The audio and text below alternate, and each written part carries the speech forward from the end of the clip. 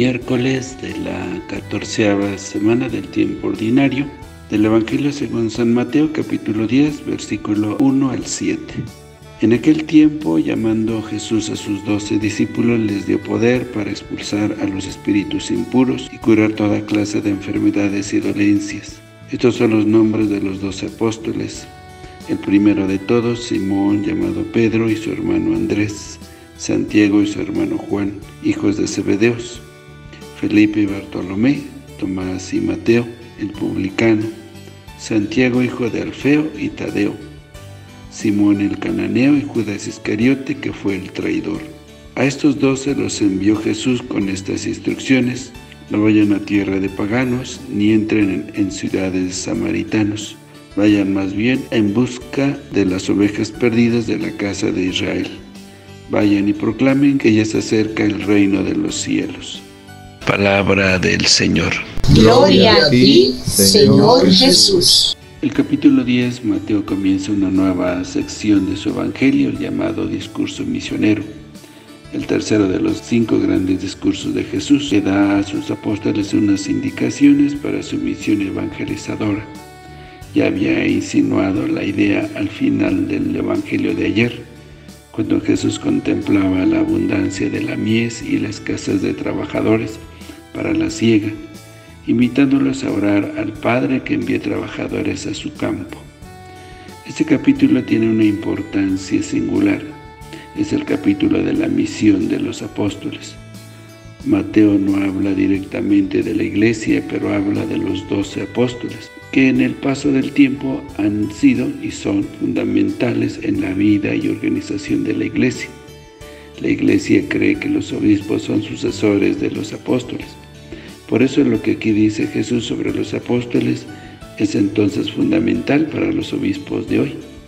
Por otra parte, el hecho de que Jesús llama a doce es la indicación más clara de que estos doce vienen a sustituir a las doce tribus del pueblo de Israel. Jesús está así fundando un nuevo pueblo, Jesús les da un giro distinto al camino de la salvación. Surge una realidad inesperada. De la antigua religión pasamos a la novedad del Evangelio. Lo primero que dice este Evangelio es que Jesús dio a los apóstoles autoridad. Exausía utiliza este término, que se refiere al poder o autoridad vinculada a una misión determinada. De acuerdo con las palabras de Jesús, la exusía que se les da a los apóstoles es ante, antes que nada un poder, una autoridad para curar enfermos y expulsar demonios, es decir, para aliviar sufrimientos y dar vida. Y a partir de estos ha de entender la misión de los apóstoles. Mateo emplea llamándolos discípulos, y de ahí a renglón seguido los llama apóstoles.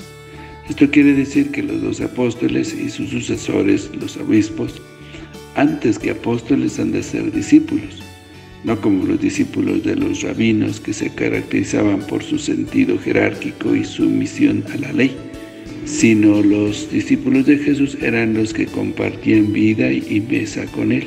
Solo el que vive así puede ser llamado apóstol y sucesor de los apóstoles. Jesús envía a los doce, por el momento limita esto a Israel, que se encuentra en situación lastimosa no ha llegado aún la hora de la misión universal. Su proclamación va acompañada de todas clases de señales.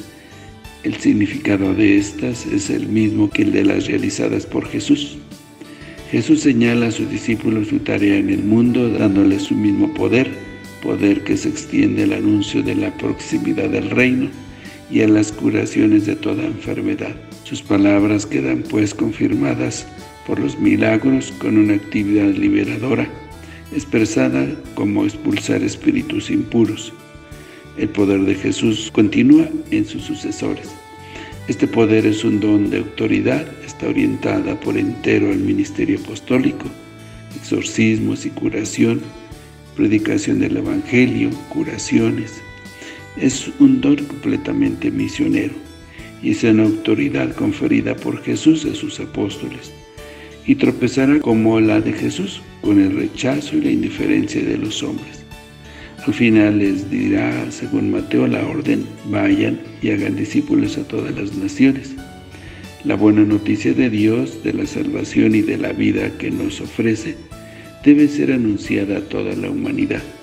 Cada generación es nueva en la historia y necesita ser evangelizada. Por eso sigue en pie el, el encargo de Jesús.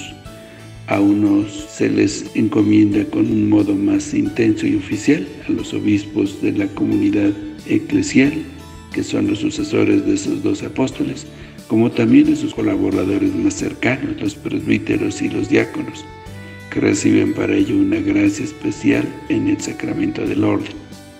Pero es toda la comunidad cristiana la que debe anunciar la salvación de Dios y dar testimonio de ella con palabras y obras, en el ámbito de la familia, del trabajo, del estudio, de la política, de los medios de comunicación, de la sociedad en general en tierras de misión y en países que se dicen cristianos.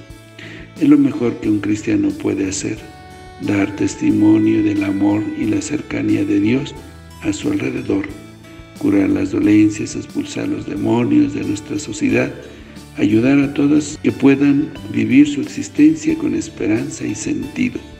No todos somos sucesores de los apóstoles, pero todos somos seguidores de Jesús. Todos formamos la Iglesia Apostólica y Misionera y debemos continuar cada uno en su ambiente la misión que Él vino a cumplir. Que el Señor los bendiga.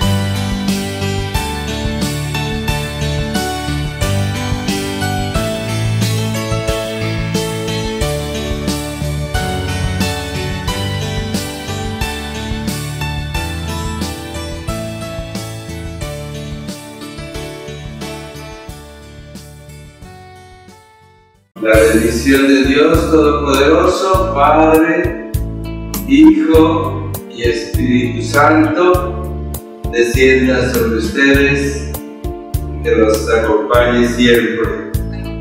Que el Señor los bendiga. Si te gustó este video y deseas seguir recibiendo el Evangelio, misa en vivo, oraciones y muchas reflexiones más, Ayúdanos a seguir creciendo. Suscríbete a este canal de YouTube. Activa la campana de notificaciones. Deja tu comentario. Dale me gusta. Y compártelo con todos tus seres queridos. Que el Señor te bendiga a ti y a toda tu familia. Bendiciones.